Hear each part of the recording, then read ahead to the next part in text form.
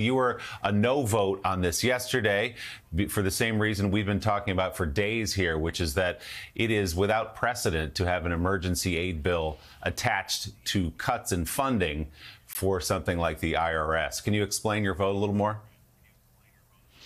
Yeah, I mean, I, I, voted no because uh, for a couple of reasons. One, I think I went back in history in time and I was trying to find a situation where emergency aid for an ally or a partner that came about from a crisis was conditioned on cuts to American domestic spending. Um, I could not find that. I think this was an unprecedented suggestion by a very new speaker. Um, and of course, their goal, their stated goal, was to cut the deficit. It took about a hot minute to figure out that it wasn't going to cut the deficit in fact, it was going to increase the deficit. Um, so, uh, you know, I just, it was a, a political play there. Uh, secondly, there was no aid for Gaza in that bill.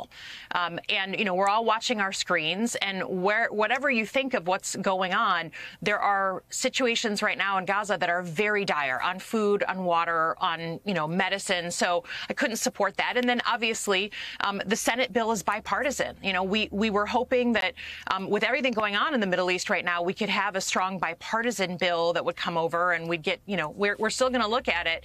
Uh, but what, what happened yesterday was just pure politics from a very new speaker.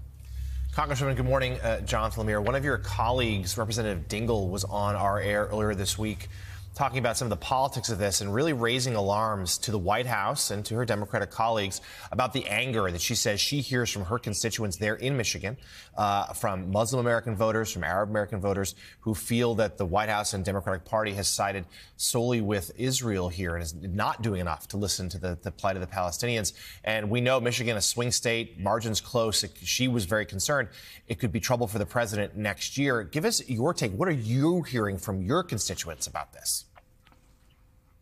Yeah, I mean, I don't think you can overstate how um, intense people are feeling back home. Just again, no matter how you look at this conflict, people are feeling very raw, very emotional. They see themselves, you know, if you're uh, Arab American or Palestinian American or Muslim American, you're looking at, at, you know, the death of civilians. You feel dehumanized. You feel like you're not, you know, a, a first class citizen in your own country because of the administration. And, and so there's a lot of anger there, a lot of uh, death. I mean, you know, we, yesterday, yesterday.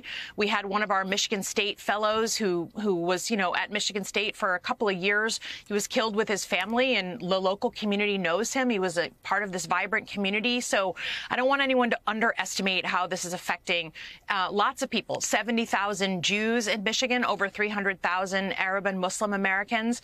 Um, and I think that people need to feel heard. So I've been urging the administration to meet with Muslim American groups, like have them to the White House, go and visit, have these conversations. You don't have to do them in public, but allow that voice in the room because I do think, um, you know, no one should underestimate that intensity and the, the nervousness that people feel. So, uh, so what would you uh, suggest the administration do? I mean, obviously, um, Israel uh, faced a horrific attack. It would be the equivalent of 45, 50,000 Americans being slaughtered uh, uh, if that had happened on September 11th. Obviously, they're going to act. We did the same thing uh, wrongly in Iraq, but also uh, in Afghanistan. I say wrongly. We went in for uh, the wrong reasons. but you take you take our battles, um, excuse me, against ISIS and look at a place like Mosul. I mean, that was street to street combat. It was the only way to root out ISIS.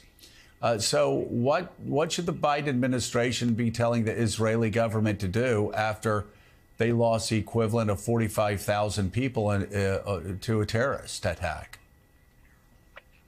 Yeah, well, obviously this one uh, rings home for me because I, I did, you know, three tours um, alongside the military in Iraq, and so I've seen this up close. I don't think anyone's questioning um, Israel having a right to respond to the perpetrators of this terrorist attack. It was a grievous, grievous attack.